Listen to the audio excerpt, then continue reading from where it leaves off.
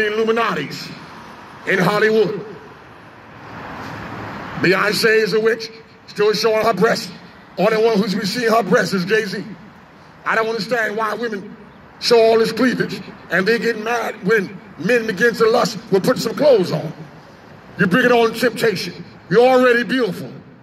You don't got to dress seductive to attract a man. That just attract more lust. You want a man to love you, not just lust. Lust will get you in trouble. Lust will get you in trouble.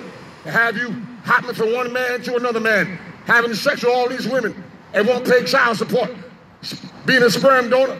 But when you love Jesus, you love your wife. When you love Jesus, you love your husband. You love your children. You don't child molest your child. When you love God, He'll teach you how to be a man. When you got no father to teach you. Many of you are depressed because your own father disowned you. No wonder you've been depressed. Young men needs a father to teach him how to be a man.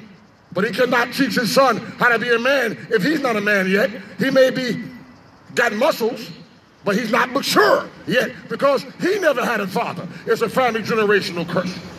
But Jesus can break that curse in your family and bring generational blessings. Hallelujah. We're praying for you today.